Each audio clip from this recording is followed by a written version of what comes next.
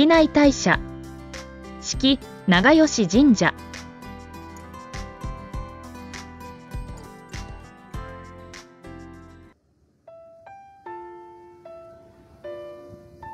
一の鳥居明神系鳥居です。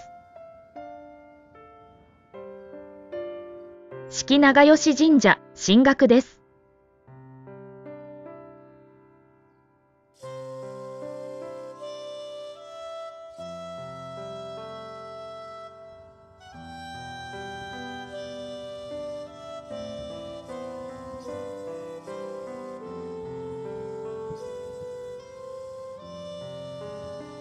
お邪魔いたします。四季長吉神社様の創建は、日本最古の書物古事記日本書紀に記載されていることから、西暦794年以前より信仰されていた神社になります。縁起式神明帳にも記載されていて、格式も大社になることから、昔から人々に頼りにされた神社と思われます。四季長吉神社昔話昔昔西暦1614年に徳川家康がイチャモンをつけてきて西暦1615年に発生した大阪夏の陣のお話です。西暦1615年5月6日、真田幸村は和歌江道明寺の戦いで、伊達政宗の家臣、片倉重長と戦い、少ない人数で頑張り、引き分けまで持ち込みます。大阪城が苦戦していたため、雪村は子供の大輔に大阪城を守るため、大阪城に向かわせましたが、それでも負けそうなので、雪村に城まで戻ってきてくださいとお願いされました。大阪城への帰り道、ここ、式長吉神社へ立ち寄り、軍旗と刀剣を奉納し、戦勝祈願をしました。5月8日、雪村は、式長吉神社のご加護を信じ、秘策の一発大逆転的な作戦を考え、仲間の毛利勝長、大野春房たちと一緒に、天王寺にいる徳川家康本人を異世界へ送ろうと思いました。仲間たちと徳川本陣に一気に突っ込みました。雪村たちの勢いはとんでもなく、徳川家康は2回くらい、僕、異世界に行くかもと思わせたそうです。しかし、あと一歩のところで、徳川家康を逃がしてしまいました。疲れた雪村は天王寺区にある安い神社で、異世界へ旅立たれたと言われています。都市伝説的な話ですが、本陣に突っ込んだ後、そのまま大阪湾に行き、船で鹿児島に行ったという話もあるみたいですよ。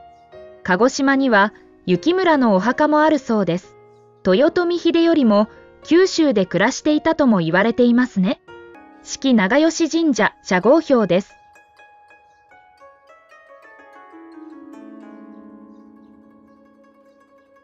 二の鳥居、明神系鳥居です。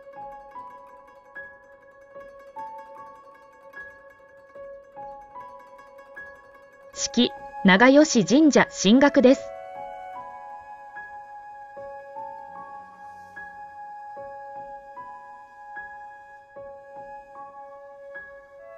式長吉神社様の由緒が書かれています。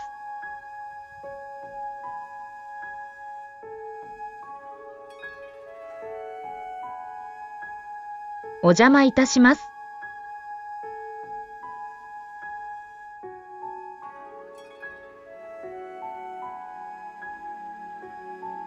境内になります。真田幸村とゆかりのある神社なので、六門線の旗がいっぱいです。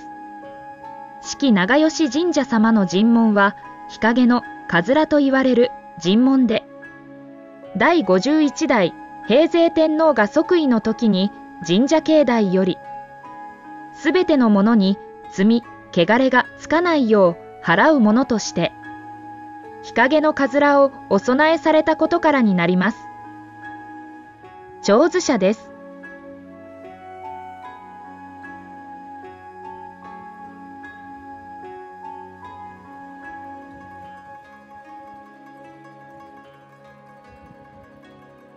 かずらが入っています。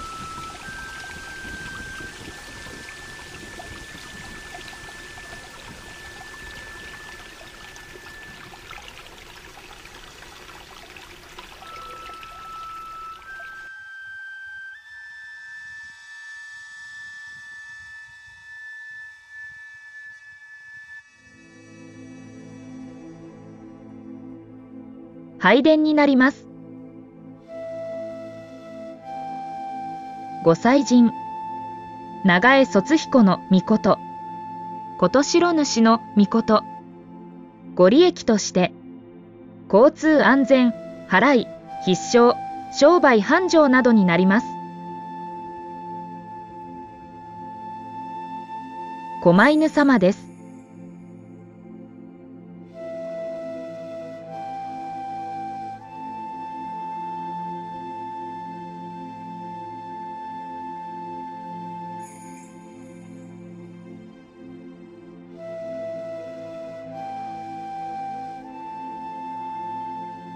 拝殿上に竜の絵馬があります。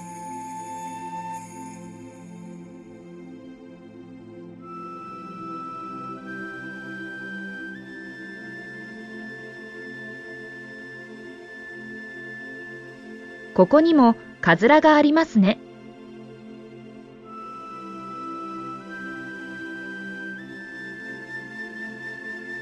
参拝します。皆様もよろしければ一緒にどうぞ。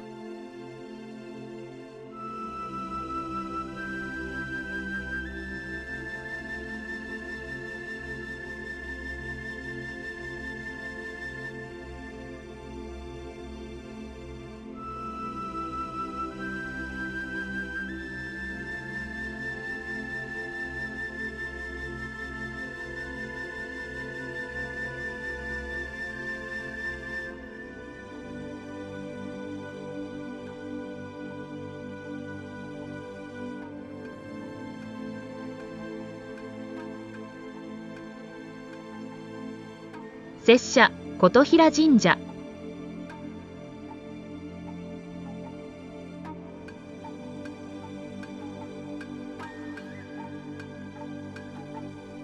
拙者稲荷神社。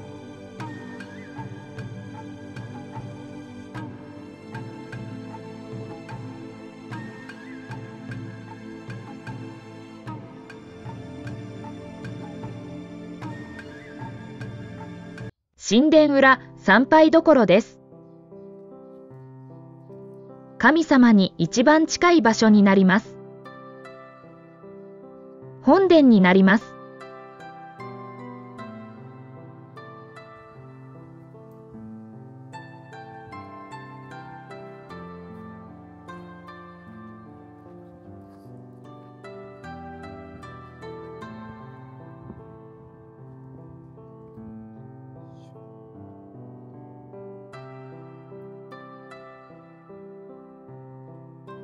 20台くらい止めれそうな駐車場があります。駐車場の中に水神社があります。水神社お祭神瀬尾律姫の神ご利益として浄化財運上昇などになりますざるに小銭を入れてお金を洗うことでお金の役が取り除かれ、役を浄化したお金を財布に入れて、きれいなお金を使うことで金運が上がるそうですよ。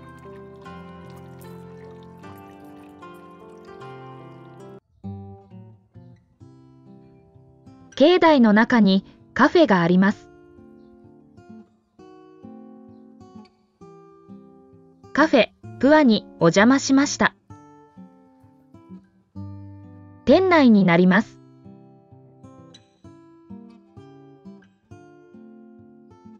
店内ではおしゃれな小物も販売しています。トイレになります。デザートメニューになります。ソフトドリンクもありますよ。アイスカフェオレとあんみつを注文しました。あんみつをお願いしましたが、寒天が売り切れているそうで、オリジナルスイーツを作っていただきました。抹茶のソースをかけていただくスタイルになります。抹茶の程よい苦味が追加され、美味しくいただきました。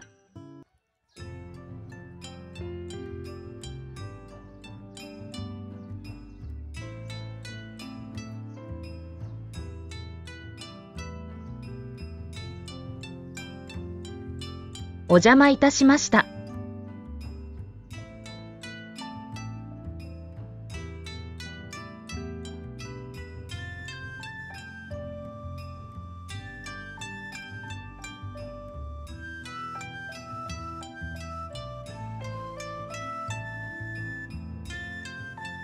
お邪魔いたしました。